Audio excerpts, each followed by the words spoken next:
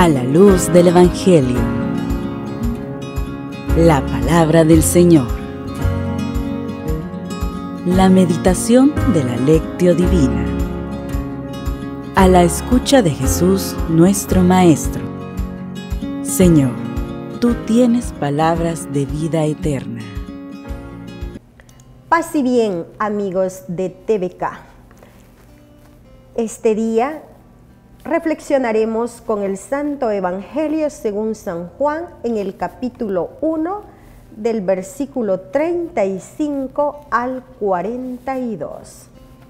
En aquel tiempo estaba Juan el Bautista con dos de sus discípulos y fijando los ojos en Jesús que pasaba, dijo, Este es el Cordero de Dios. Los dos discípulos al oír estas palabras, siguieron a Jesús. Él se volvió hacia ellos y viendo que lo seguían, les preguntó, ¿qué buscan?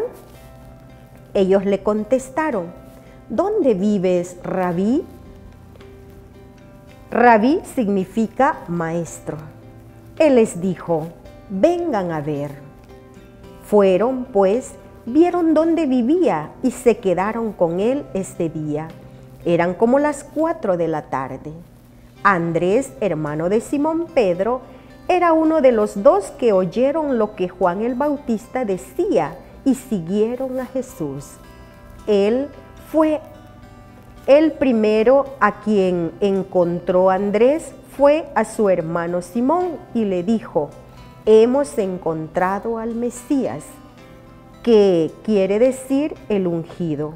Lo llevó a donde estaba Jesús y éste, fijando en él la mirada, le dijo, Tú eres Simón, hijo de Juan, tú te llamarás Kefas, que significa Pedro, es decir, roca, palabra del Señor. Gloria y honor a ti, Señor Jesús.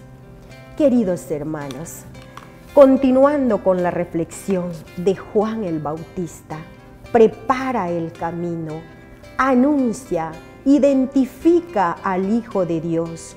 Cuando menciona el Espíritu del Señor, se posa sobre él en forma de paloma.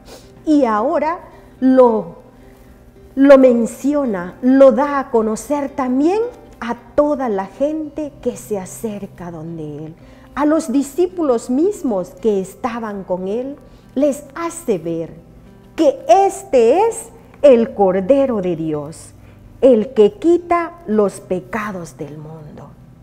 Y todos aquellos se quedan admirados y dicen, yo quiero seguirle, yo quiero seguirle. Nosotros también, queridos hermanos, busquemos, vamos hacia Jesús vamos hacia Él. Qué lindo cuando Juan les menciona qué buscan, porque ya miraba en sus discípulos mismos que había ya una inquietud de saber quién era realmente Él, el Mesías, porque querían seguir sus pasos, porque querían seguirle, porque querían acompañarle. Y Juan no se esconde para Él. Y Juan no es egoísta, les da a conocer y les menciona, este sí es el verdadero, este sí es el Mesías, este sí es ese Mesías esperado por tanto tiempo.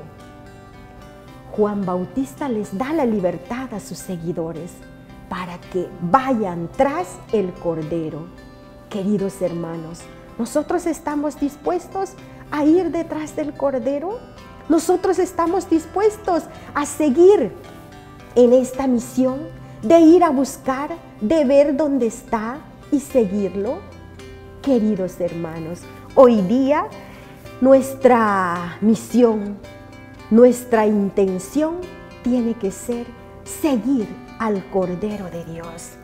Estamos invitados todos a ser transmisores como Juan Bautista de esta buena nueva, que la alegría de este Jesús sea también para nosotros la alegría de todos. Sintámonos llamados por Él, sintámonos motivados por Él y no tengamos miedo.